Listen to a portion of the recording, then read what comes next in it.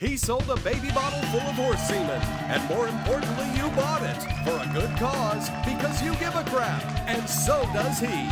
It's Mike Rowe. You don't need a compass and you don't need a map. Just pull out your wallet and purchase some crap.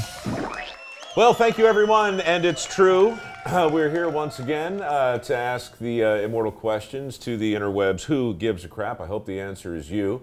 Speaking of you, I'm me, Mike Rowe, and you're Chuck. I am. How are you, my friend? I'm doing well, man. How are you? I'm doing fantastic. You know why? Because my colon is healthy. Yes, it is. And we're going to talk about colons today, aren't we?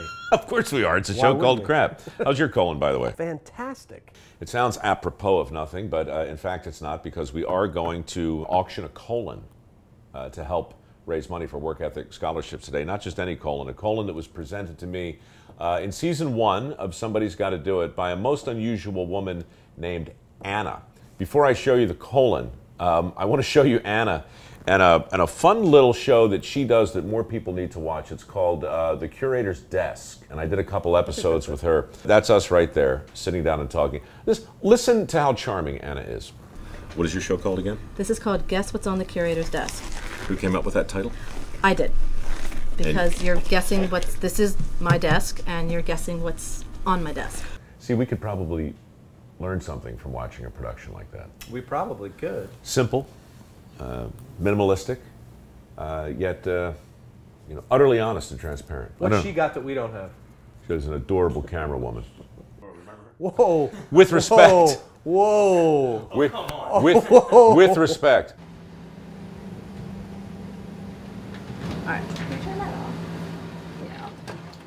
Oh, oh, wow. Honestly.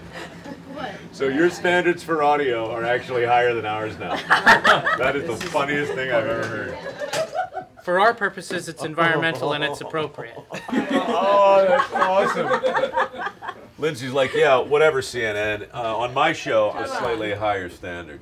Anyway, uh, Anna Dhody is a remarkable woman who is in charge of the Mütter Museum in Philadelphia, and it is an homage uh, to, to medical science, but with a slant toward the odd. Except it actually is a very serious place. It's part of the uh, Philadelphia uh, Museum of Medicine, I think.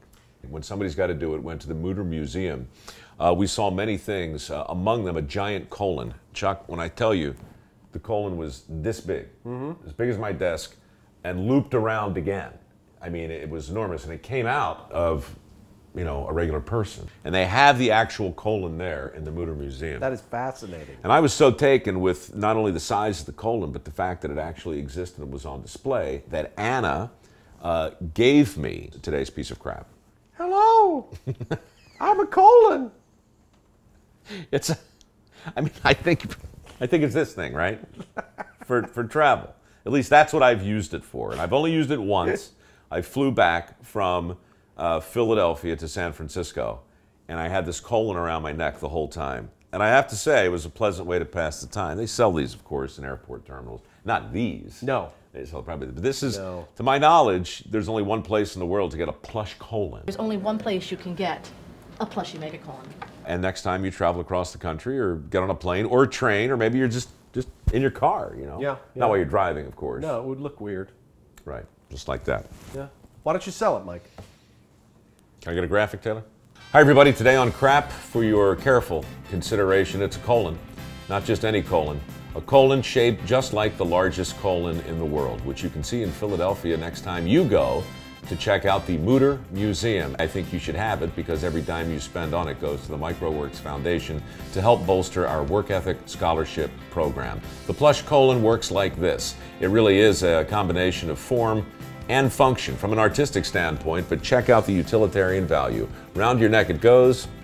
Just like that, you're sound asleep with your big giant noggin nuzzled firmly against the soft squishiness of the colons Hey, cut it out. You're squeezing me. noggin.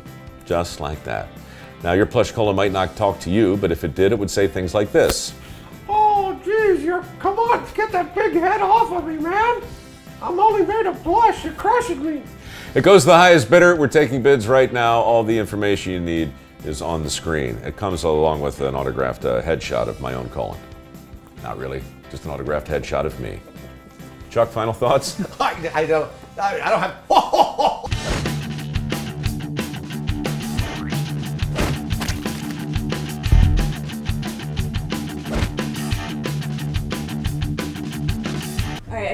get close up. Yep, you need to, now she Yeah. needs to get B-roll.